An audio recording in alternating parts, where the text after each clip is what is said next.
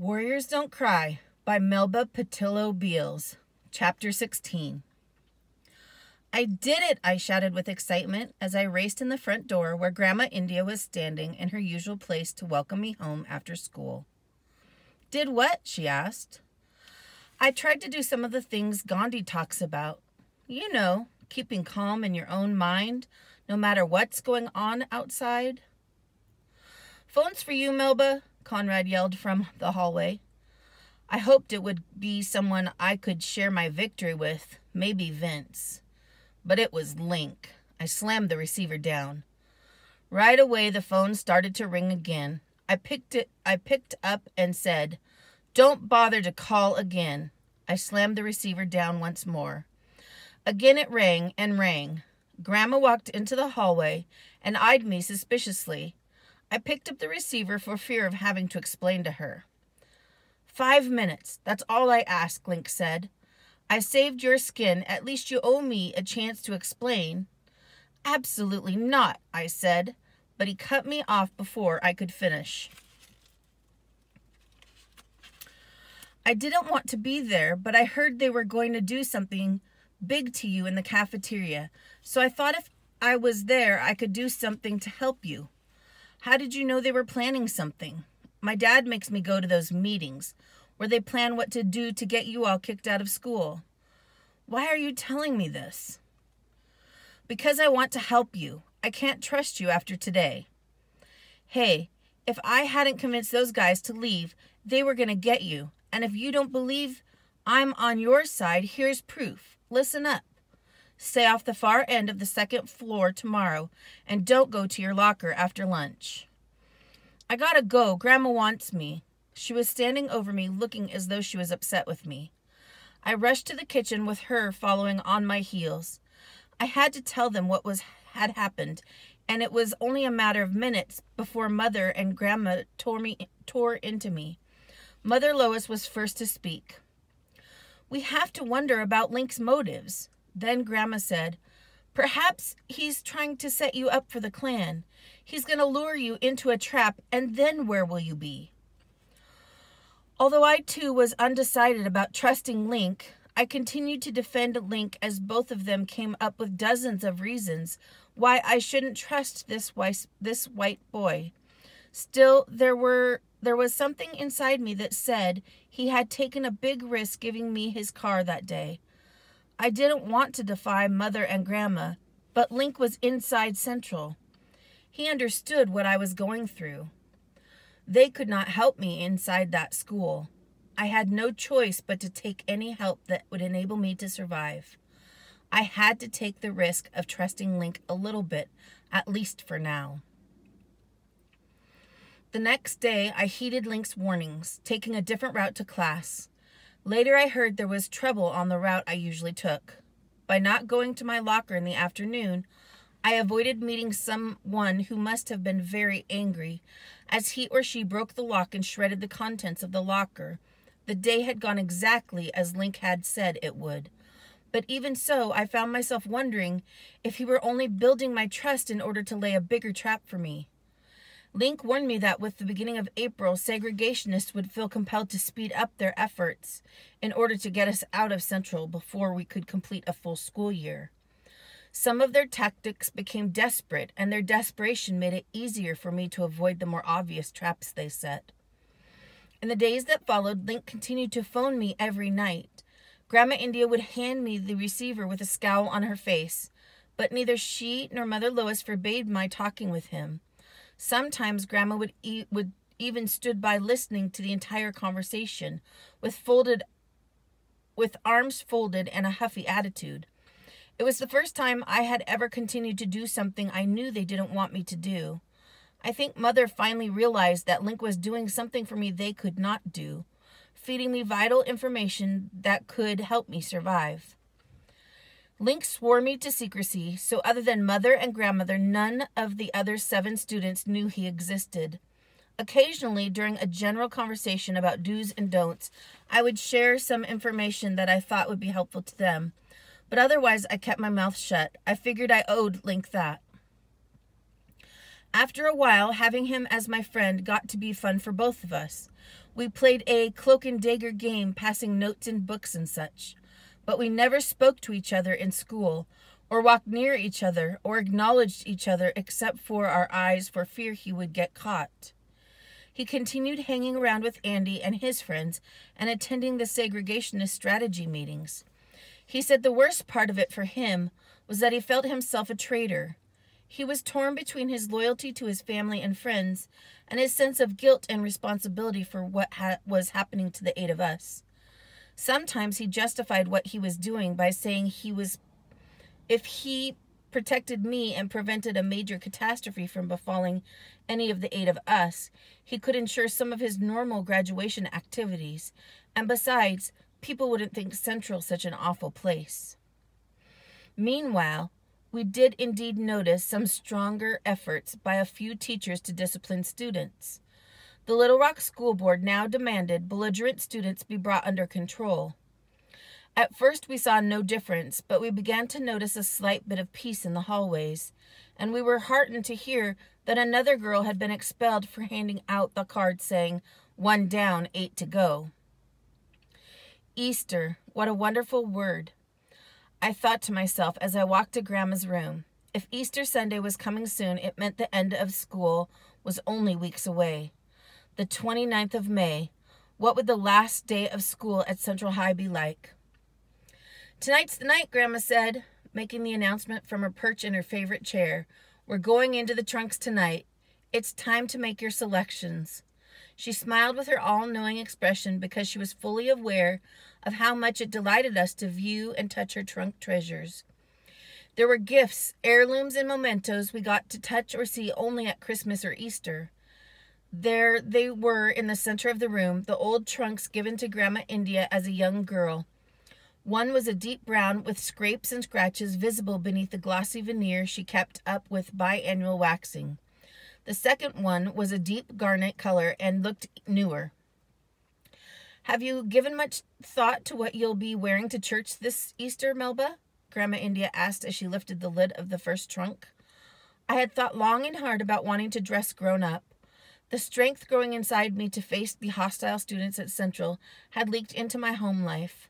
Now it bubbled up in me, allowing me to speak my mind. I'd like to wear nylon stockings and a little heels with whatever I wear.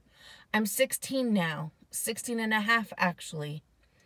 It was a daring suggestion, considering Grandma's opinion on the subject. Nylon stocking and heels. Have you been reading those trashy fashion magazines again? Let's not move too fast, young lady. You've got all your life to wear stockings, but you'll only be young once. Grandma seemed adamant about my remaining a two year old, I thought to myself. It was the only thing she and Papa Will agreed on. He thought wearing nylon stockings and dating should be begin at age 20. But since he didn't live with us, I knew what he thought wouldn't have to be the rule for what happened in my life. But Grandma was right there, keeping me from growing up. Nevertheless, as she fussed and fumed about my wicked desires, I kept my expression pleasant the same as I did in the halls of Central High School in order to avoid expulsion. Let's take some time to think about the stockings, Mother Lois said, smiling and moving toward the trunk to peek inside. Tonight we'll pick our special cloth from the trunks and get going on a design for all of our dresses and for Conrad's shirt. Lois, maybe something two piece would be nice for Melba this year, Grandma said. Mama and Grandma would draw a picture, then sit in the middle of the floor and cut a pattern out of the newspaper and make a dress come to life in the fabric. For the next hour, we rummaged through Grandma's trunks filled with fabrics she had collected over the years. There were remnants of dresses and suits I had seen her wear all my life. There were brand new pieces and full bolts she had gotten from her mother before she died or from her sisters as trades for other things. Easter was always a time when we each were allowed to choose the cloth we wanted. Celebrating the Easter holiday was a big event in our family. Attending church on Easter was a grand ceremony when everybody dressed up in the very best they could afford. There were always an Easter egg hunt on the church grounds and a parade of people in special hats. A few weeks back, we had officially begun the sacred holiday with the pledge of our sacrament sacrifices for Lent. It was a family tradition that Mama and Grandma would review our Lenten commitments as we shopped the trunks. Have you two considered adding more items to your sacrifice list this year? Grandma asked as she began to sketch the design for my dress. Uh, Grapette colas, that's what I'm doing without.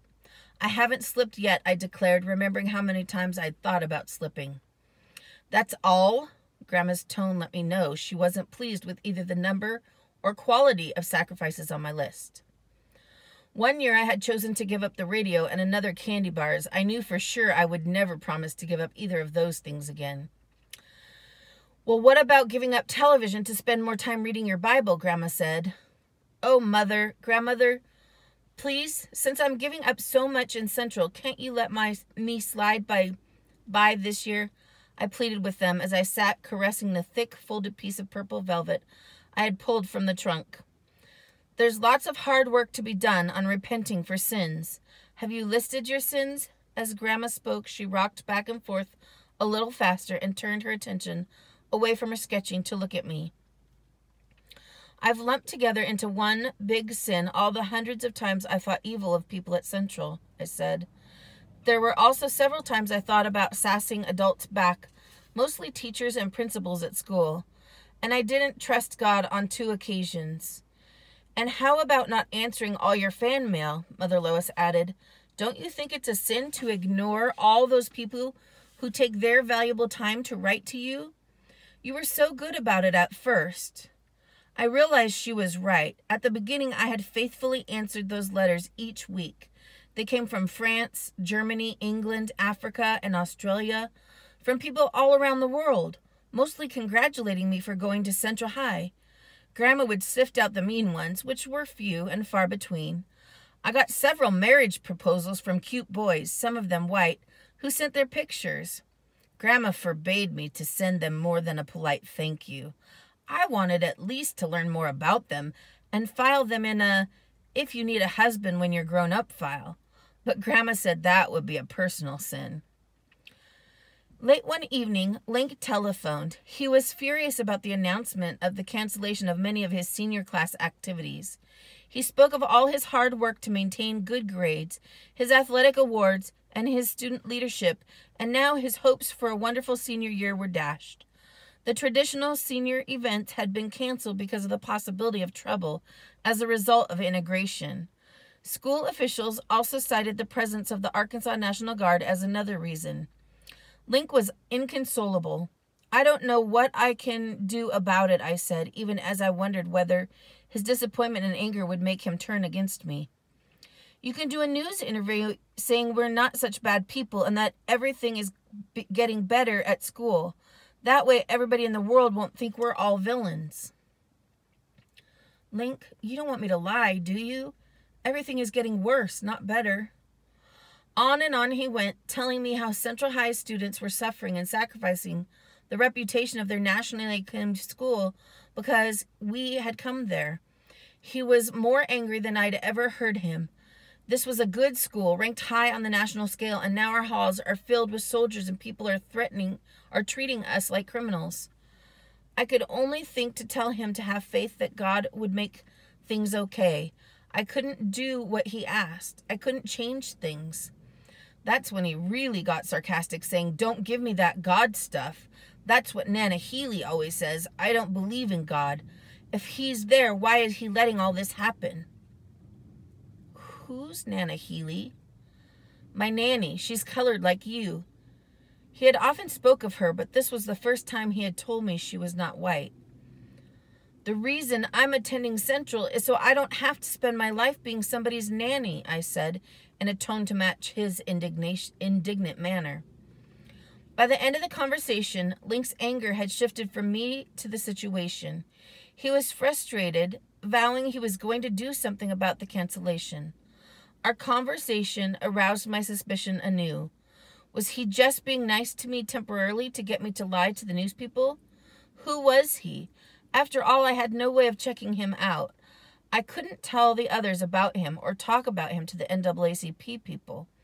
I was at his mercy, having to decide on my own whether or not he was genuine. I would have to be on constant alert from now on. watching for signs of what his real motives were. But meanwhile, he warned me to watch out for any students who tried to hand me election pamphlets. School officers were to be elected on April 24th. Students would be nice and offer us literature, he said, but as we paused to take it, they would ink our dress, grab our books, or worse. I've been to some of those planning meetings recently, and I can tell you they're going to pull out all the stops and do everything they can to get you all out of school before it ends, to make certain you're not coming back next year. What more could they do? They're already exhausting us. Yeah, but it's going to get much worse. The thing is, lately they've been talking about pulling off something really big that will not only hurt you, but your families, something that will force you to quit.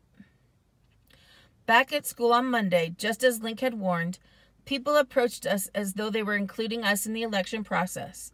They would offer a pamphlet with one hand while using the other hand to shower us with all manner of smelly liquids. Sometimes they would kick or even punch us, and usually what, whatever they did was followed by rude name calling. The elections at our old school, Horace Mann, weren't nearly so sophisticated. At Central, people put up signs, wore buttons, and passed out material just as though it were a real election. They held debates and voting parties and did all manner of campaigning. I was intrigued watching the process, delighted at the complexity of it all, compared to what I had had been accustomed to at our old school. It made me extra sad that I wasn't allowed to participate. More frequently now, Link was full of talk about graduation events. Under any circumstances, this would have been an exciting time of year, filled with wonderful events. He told me about the parties for the juniors and seniors.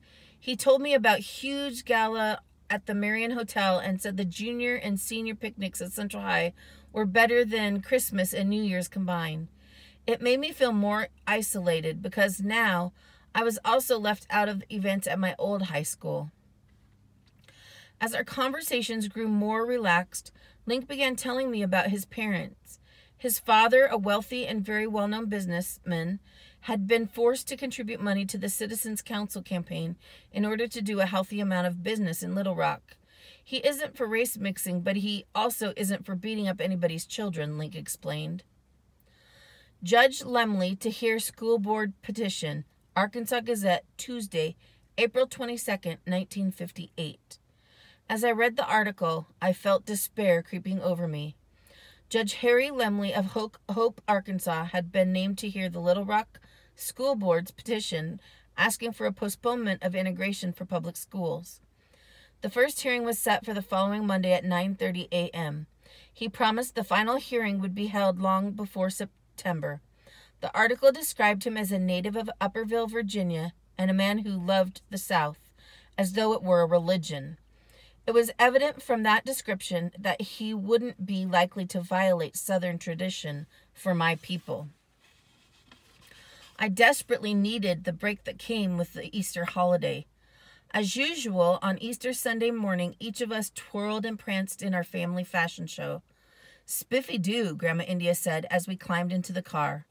The church was filled to the rafters with people we didn't see during all the rest of the year. Vince and I sat together at the church dinner, reminiscing about our earlier dates, and for the first time I felt as though we were good friends again. Still, he was not someone with whom I could talk about my Central High experience. We had simply drifted apart because we had so little in common except our past relationship. In my diary, I wrote, I'm happy today, but I am also frightened. The appointment of Lemley means we have to pray hard. This is not supposed to happen in America. I mean, segregationists aren't supposed to be able to have their own judge. I salute the flag every morning as I look at a picture on the homeroom wall directly in front of me. I'll never forget that picture as long as I live. It is a brown pasture with white sheep. As the boys behind me call names and the girls to each side sneer, I look straight ahead because those sheep are smiling at me. I think it's a smile from God. It is a promise that if I salute the flag like a good American, all these integration problems will be worked out eventually.